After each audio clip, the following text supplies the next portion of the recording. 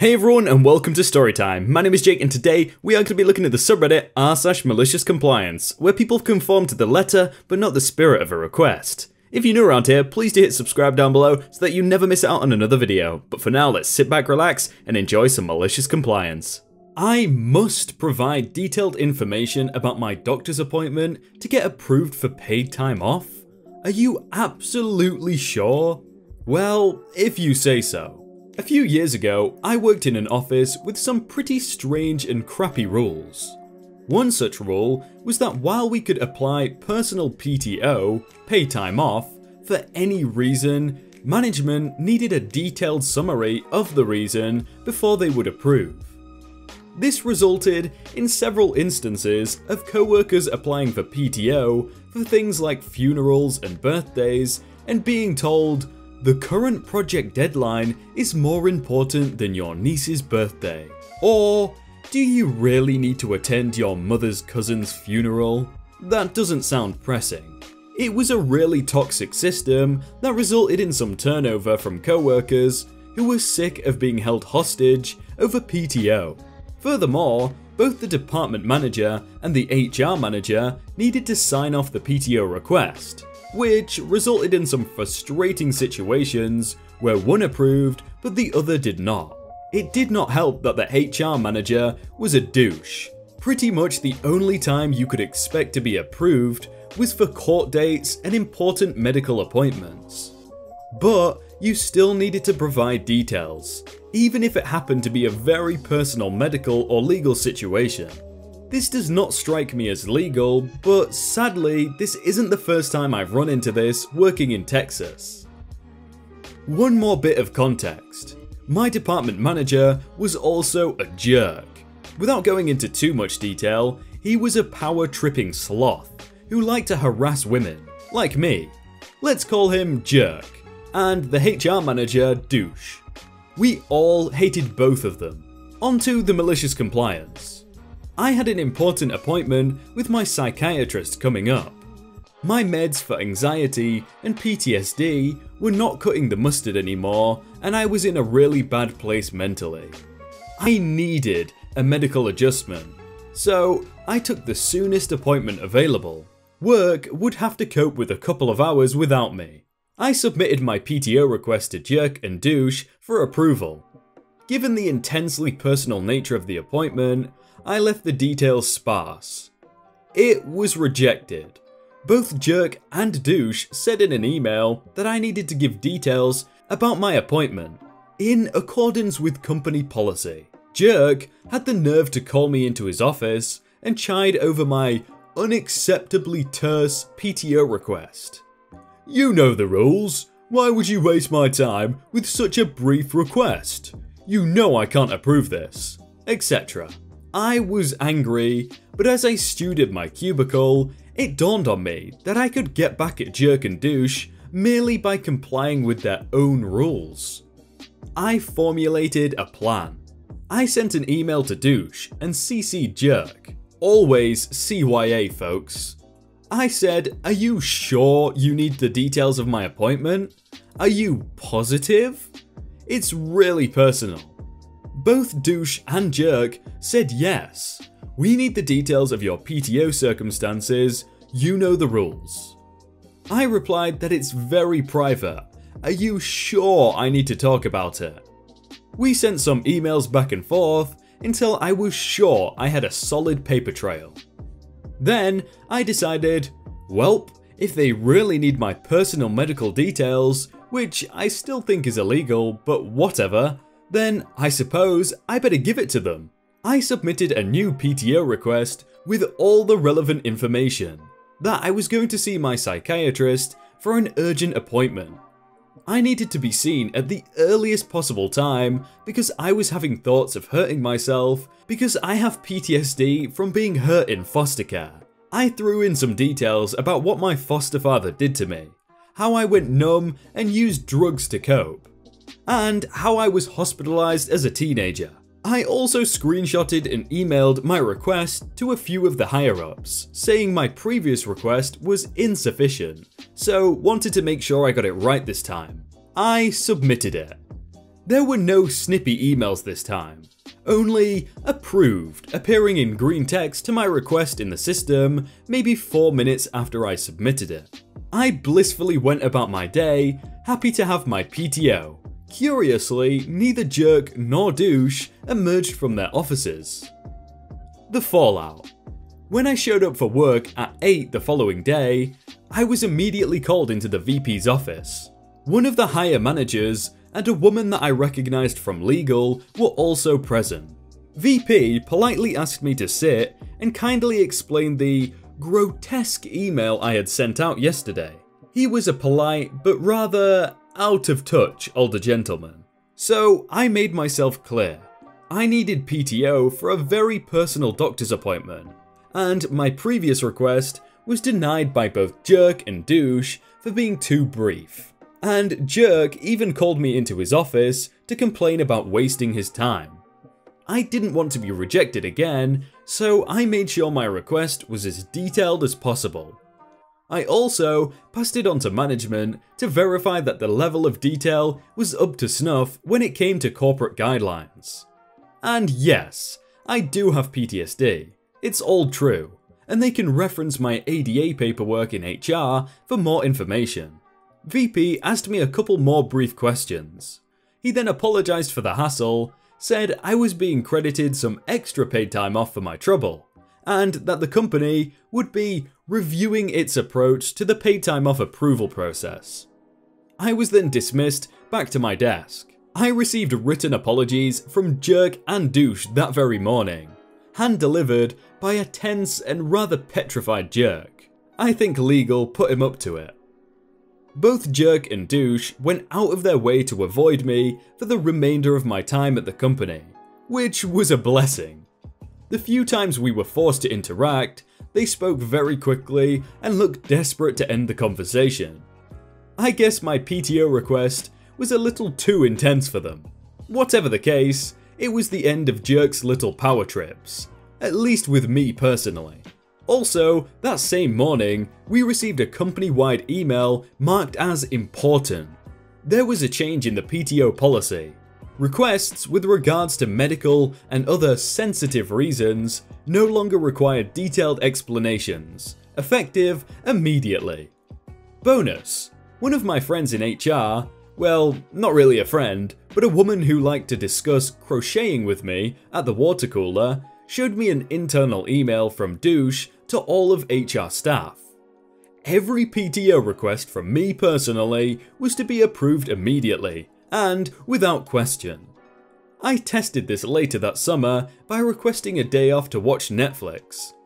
That's specifically what I put in the request field. I planned on quitting soon, so was in a flippant mood. It was approved immediately. I think they had me flagged in their system. Truth be told, I could have probably taken a whole month off and gotten paid for it, but I didn't push my luck. I left the company for a much more tolerable, less toxic, higher paying job about 6 months later. And yes, my appointment went well, and I'm doing better now. I started attending a trauma support group, met my SO, and I've been able to reduce the dose of one of my meds. Now I'm no legal expert, and you guys probably know more than me, but I'm pretty sure that is illegal to to request su such specific information. But yeah, like I said, I might be wrong, but they probably should have got shut down for that. Company policy outranks a written contract? Okay, we'll stick to policy then. Early last year, my wife got a promotion which required moving across the state. Her company offered a very generous moving package which was formally written up in a contract which we had to sign and agree to before the promotion was official. One of the big draws was that the contract said it would pay for all closing costs and related fees for not only the sale of our previous house, but the purchase of our new house in our new city. I was a little dubious and had my wife clarify as there are associated fees due at closing which aren't really sale fees, such as your prepaid homeowner's insurance for the year, taxes, and HOA fees. But the contract said all fees, and the HR specialist reiterated this, so we were happy. Cue to a few months later. We've moved, rented short term, found a new home, closed, and moved into it. The final reimbursement check comes in and it's about $1,000 short for all of our prepaids. I wasn't shocked, but I double checked the contract and yep, clear as day, all fees was included. So my wife reached out to the HR moving supervisor to check on this, and she was pretty curtly told that we had been misled and that the company policy was only to pay closing costs themselves, and all fees just meant closing cost fees. That's always been the company policy, we were told, and the contract wasn't literal on all fees. This went back and forth for a day, my wife politely escalated it, and we did get a sympathetic HR director, but policy was policy, so her hands were tied. Here's the malicious compliance though. While company policy said we couldn't get the prepaid fees reimbursed, she, the HR director, asked for all of our moving and rental receipts.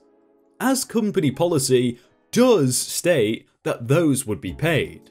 The HR director pored over our receipts and all for another day and reached back out with a formal letter which said, Sorry, company policy doesn't allow prepaid reimbursement, so you won't get your $1,000. But I did find that you weren't adequately reimbursed for your move and short term rental as per company policy, and we have submitted a claim for you for that amount. Another day later, and we got a check for $5,800. We just wanted them to honour the contract, but following company policy to the letter got us another $4,800 we didn't realise we were owed. So I'd say it worked out in the end. Edit. To answer a common question about being owed the $1,000 per the contract, what we were told is that the contract we signed was supposed to have a company policy addendum which had the definitions, and all other fees is defined in that as excluding prepaids, insurance, etc. So someone did a goof by A, not sending us that, and B, telling us that the stuff was included. So while we could have hassled for that $1,000, it wouldn't be worth the time, fees, or money especially when the company has been above and beyond for my wife on everything else. Good raises, great benefits, great boss, constantly training her on things she asks to learn, etc. We've also learned from experience that small claims court isn't always the way to go. Wow, that's that's a HR director actually doing something really good. That's a surprise. Expect me to break process and use my personal phone for work? Alright, thanks for paying for my phone. Background. I work for an IT company and get outsourced to a media company for support. The work hours are grueling. I work about 60 hour weeks and average about 40 hours overtime a month. I support around 13 countries where the company has a footprint and our service desk is supposed to call me when there are issues logged to us after regular work hours. However, our service desk is pathetic and rarely call me. And when they do, it is around 4 hours later, which is a big financial loss to the company. So, majority of the times, I get a WhatsApp from the managers telling me the issues and then go to resolve it. I do not get paid a cell phone allowance to get called on my personal number or WhatsApped from all these countries. Now to the story. It was Sunday and I was spending time with my dad for Father's Day when I get a WhatsApp from the douchebag manager. Now, bear in mind, this guy is in charge of all of these countries. Telling me there is a major outage in one of the countries, why haven't I looked at it yet, about 4 hours since the issue began, and that I should look at it now. I said no problem, and told him that I did not get a call from the service desk or a reference number yet but that I will look into it. Because this is the business process that should be followed and was on the contract that he signed. He then gets furious and replies that this is a serious issue and I am expected to always look at the issue when being messaged on WhatsApp and that I should not wait for a call from service desk. which is what I already do. Now, this being Father's Day, I am already upset that I have to cut time with my dad short. Then, I realised what to do. I tell him, no worries, I will do so. I fix the issue and take a screenshot of the message. I send it to the boss and tell him to please add a cell phone allowance to the monthly bill to the douchebag manager, as I am expected to use my personal device even more for work. We change the billing to include the allowance, and I mail it to the douchebag manager on Monday, stating the bill now includes cell phone allowance. Five minutes later, I get a call. What is this regarding a billing charge? Well, you said I should always accept calls and messages from you for work. This is BS. I am not going to pay for this. The douchebag manager is furious, and he pulls me and boss into a meeting and tells us that he will not pay a cell phone allowance for me, and I show him the screenshot of his message to me that I am expected to be available when he calls or messages me, and that this breaks the regular contract agreement that Service Desk is supposed to call me with issues, and I will respond on email. He tries to argue that WhatsApp is not a valid form of business communication and that I cannot use it as justification to include the billing. Now, I always keep my WhatsApp history for reasons like this. With a smile on my face, I pull out my phone and scroll through it showing boss and the douchebag manager the amount of times I get messages and calls for work on WhatsApp to sort out the issues from the douchebag manager and other managers. They are using it as a professional business communication tool with me. My boss also smiles and says, Either you pay the cell phone allowance, or OP blocks all WhatsApps and calls from everyone related to the business and only accepts calls from Service Desk. The douchebag manager had no choice but to agree and pay my cell phone allowance, which is enough to cover my whole phone and data plan. Now, don't get me wrong, I love my job and happily helped the customer when they messaged me because it was more efficient and convenient for me as well. But that particular day, douchebag manager rubbed me the wrong way, and I decided I was tired of it. And now, I basically have a free phone and a bit of extra money in my pocket every month. I'm quite confused as to why the, the douchebag manager was so concerned about paying the bill, because surely it's just going to come out of the company's money, not his direct money, but I, I guess some people are just penny pinchers, aren't they? Hey everyone, I hope you all had a really good day and that you enjoyed that video. If you want to check out some other videos, then click on screen right now, or check out the playlist down below. If you enjoyed that video, then please do leave a like, and if you want to submit your own stories, then you can do so by joining the Discord in the top link in the description. But thank you so much for watching, and I will see you very soon.